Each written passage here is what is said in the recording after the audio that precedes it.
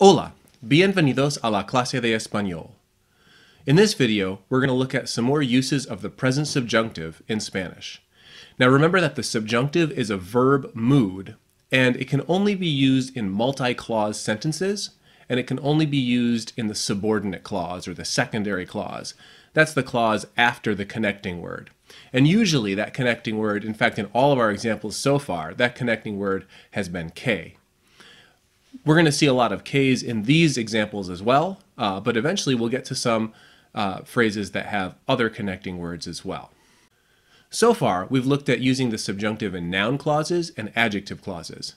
And that's where the, the part of the sentence that starts with the que serves the role of a noun or serves the role of an adjective to describe something that's been previously mentioned in the sentence.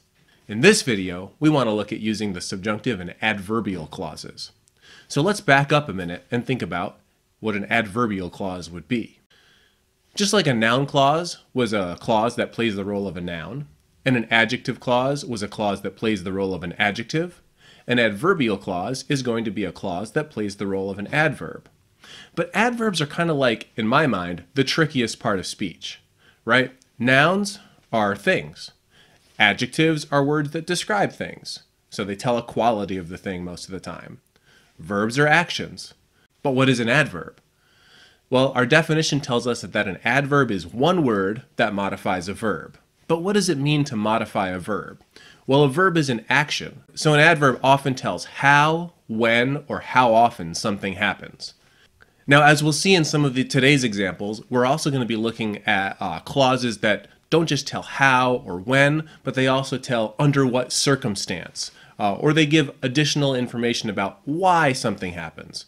But in all cases, adverbs are telling additional information uh, about the situation in which an action takes place. So again, an adverb is when you have one word that does one of those things. An adverbial clause is going to be multiple words, of course, including a conjugated verb that plays the same role, that tells how often, how, why, when, etc. an action takes place. In the sentence, I will run tomorrow, the word tomorrow is an adverb because it tells when I will do the action of running, right? It modifies the action of run by telling when. And it's one word, so it's just an adverb. In the sentence, I go to my classroom before my students arrive, the whole phrase before my students arrive, which includes the conjugated verb arrive, is an adverbial clause. It's an adverbial clause because it has that conjugated verb and it modifies the action. It tells when, again, tells when I go to my classroom. When do I go? Before my students arrive. So that's a whole adverbial clause. All those words working together just to modify that verb of, or, uh, of go. I go to my classroom. Now, when we look at adverbial clauses in Spanish and think about uh, using the subjunctive, it's useful to group them into two different groups. And I only want to, in this video, look at the first group. And this first group of adverbial clauses are clauses that always, 100% of the time, uh, are going to trigger a use of the subjunctive in the adverbial clause. And if I could just borrow a phrase from the SpanishDict, that's because these clauses indicate no certainty of completion between the main clause and this subordinate adverbial clause. And we'll look at those when we look at the examples and, and what they mean in English. Now, when I started teaching adverbial clauses that always triggered the use of the subjunctive, I had six that I taught the students. And I had this great phrase to remember them, en caso de caspa. But then we started using a different textbook, and uh, it added an additional adverbial clause to this group. So uh, one of my colleagues presented me with the, with the idea of escapa a to remember these. But then I looked at uh, I looked at these phrases again and I found an additional phrase that always uses the subjunctive. So our acronym for today is AAA space.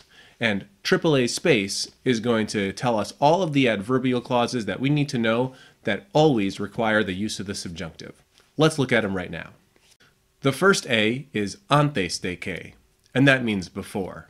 We can see that one in the sentence como el desayuno antes de que llegue el autobús. I eat breakfast before the bus arrives, or before that the bus arrives. Now, if we think about this from uh, our logical interpretation of the meaning, At the time of the main clause, when I'm eating breakfast, I have no certainty of completion of the next action, which is the bus arriving. And I don't have certainty of that because it hasn't happened yet, because it's a future action. Although I'm able to use present tense in both of those clauses because of how it's set up.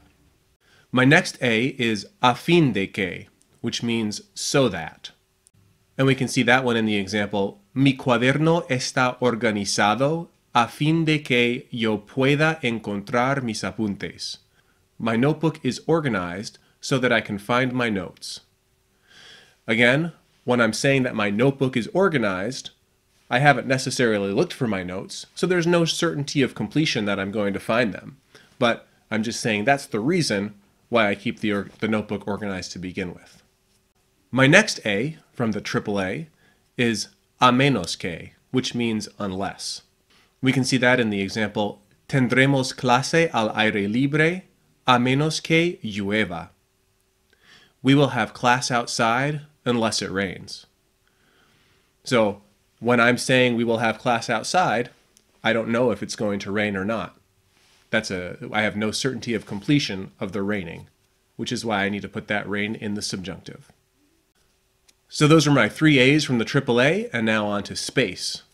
The S is for sin que, and that means without. We can see that in the example, salgo de casa sin que mis padres sepan. I leave the house without my parents knowing. Or I leave the house without that my parents know. At the time that I'm leaving the house, based on how this, uh, this sentence is constructed, there's no certainty of my parents knowing that I'm leaving the house. There's no certainty of completion of my parents uh, having knowledge of that. Subjunctive. The P is for para que, which is another way to say so that or in order that. So that is a lot more common in English. We can see that in the example, Los maestros dan tarea para que los estudiantes practiquen. The teachers give homework so that the students practice. When the teachers are giving the homework, there's no certainty of the students actually practicing. So, subjunctive, no certainty of completion. The A stands for a no ser que, which is another way to say unless. We can see this in the example, no voy a la fiesta a no ser que él me invite. I'm not going to the party unless he invites me. At the time when I'm saying I'm not going to the party, I have no certainty that he's going to invite me or not, uh, so I have no certainty of completion of that second action, the, the action in the second clause. The C is for con tal de que, meaning as long as or provided that. And we can see that in the example, puedo hacer la tarea con tal de que el profesor la explique bien. I can do the homework provided that the teacher explains it well. Or I can do the homework as long as the teacher explains it well because of how that sentence is set up, from the perspective of the main clause, when I'm saying I can do the homework, but only if this circumstance happens, only if the teacher uh, explains it well, provided that the teacher explains it well, as long as the teacher explains it well. I don't know, from the main clause perspective, if the teacher is actually going to explain it well. Therefore, no certainty of completion. And the last one, en caso de que, meaning in case of. We can see that in the example, Siempre uso la escalera en caso de que haya un incendio. I always use the staircase in case that there's a fire, or in case of there being a fire. When I'm using the staircase, I have no certainty of completion of there being a fire, don't know if that's going to happen, so I can't use indicative, it's got to be subjunctive. As we can see, these expressions all indicate that at the time of the action in the main clause, there is no certainty of completion of the verb or the action in the subordinate clause. And that's why that subordinate clause in all of these has to use el presente de subjuntivo. So remember, AAA space, these adverbial clauses or these uh, phrases that introduce adverbial clauses always must use the subjunctive. Muchas gracias por ver este video. Adiós.